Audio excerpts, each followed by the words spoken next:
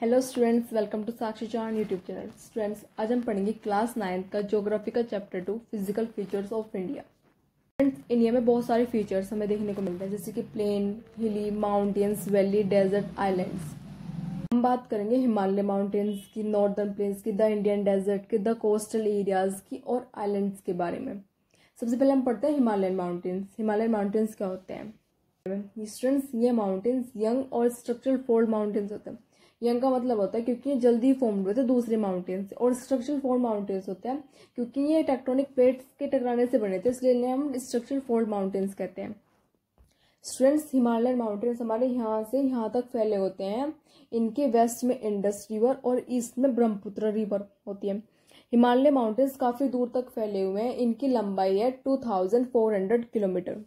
Kashmir की side वाले Himalayan mountains की ब्रेथ है 400 किलोमीटर और वहीं अरुणाचल प्रदेश की साइड वाले हिमालयंस की ब्रेथ है 150 किलोमीटर।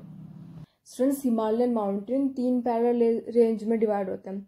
सबसे ऊपर वाले को हम बोलते हैं हिमाद्री नी, उससे नीचे वाले को हम बोलते हैं हिमाचल और सबसे नीचे वाले को हम बोलते हैं शिवालिक।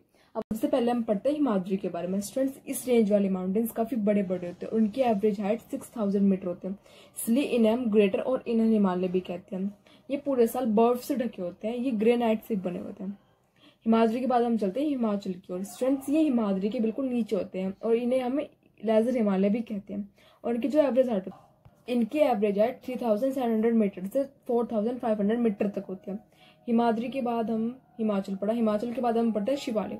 स्टूडेंट्स इसकी एवरेज हाइट होती है nine hundred metre to eleven hundred metre और ये एलोवेल सॉइल के बने हुए होते हैं।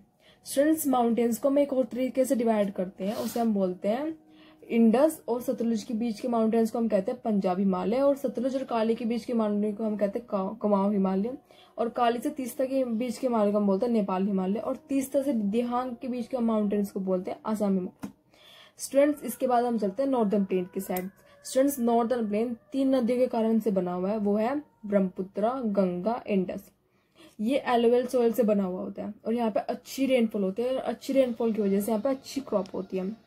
ये 2400 किलोमीटर तक लंबा और इसकी जो ब्रेथ है वो 240 किलोमीटर से 320 किलोमीटर तक है।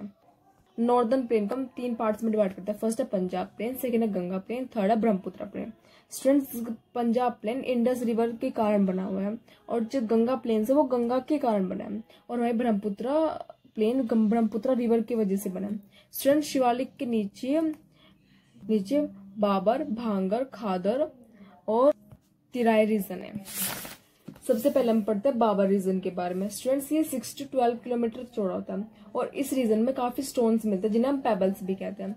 और बाबर के नीचे आता है तिराई रीजन स्टूडेंट्स ये काफ़ी मैसी रीजन होते हैं और इस, इस रीजन में काफ़ी डेंस फॉरेस्ट हमें मिलते हैं। और तिराई के नीचे हमारा बांगर स्टूडेंट्स यहाँ पे एलोवेल सोयल मिलती है और ये नॉर्दर्न प्लेन में काफ़ी लार्जेस्ट एरिया कवर किए हुए हैं। और यहाँ पे बहुत सारे पत्थर मिलते हैं, जिन्हें हम कंकर भी कहते हैं। बांगर के नीचे होता था खादर। वहाँ पे, यहाँ पर खादर में कोई पत्थर वाली चीज़ नहीं होती है। वहाँ पे ज़मीन काफ़ी फर्टाइल होती है। खादर काफ़ी अच्छा होता है स्टूडेंट्स खेती के लिए।